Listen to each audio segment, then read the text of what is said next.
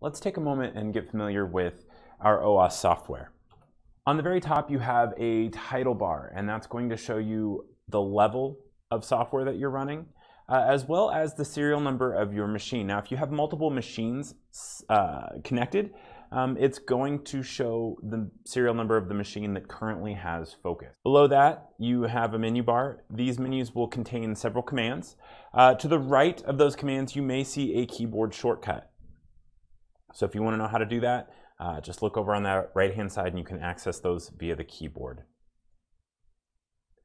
Below that, you have toolbars. These toolbars are movable and dockable. If you would prefer, just click on the handle to drag it off, double click to snap it back into place.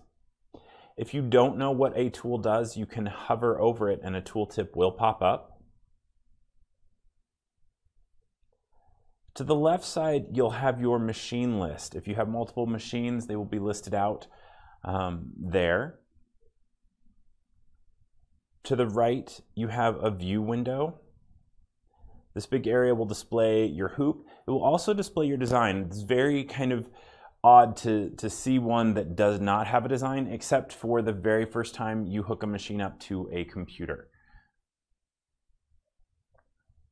On the right-hand side, you have the status tab, um, and this is going to be where we set the majority of our machine settings. And pretty much when loading a design and, and running through, uh, I just go right down the right-hand side and, and fill out all of this information.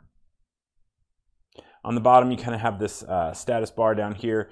Um, it's going to show you kind of error messages or, or communication messages from the machine.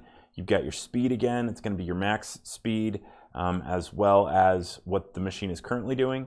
Then right here, you have a progress bar and that will, that will fill in as the machine sews. Uh, here you have a percentage being done, the current color change that you are on, the current needle that you're on, and the X and Y position.